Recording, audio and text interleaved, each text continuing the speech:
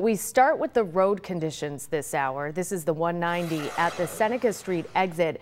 Roads are wet, but traffic is moving smoothly along this stretch. And this is the 90 between the 400 and 219. You can see traffic signs there asking drivers to be slow and be alert.